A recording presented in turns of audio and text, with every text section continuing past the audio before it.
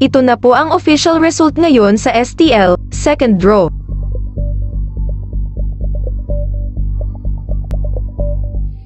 Para makita ang resulta sa STL, e-click lang po ang description button o tignan sa comment section.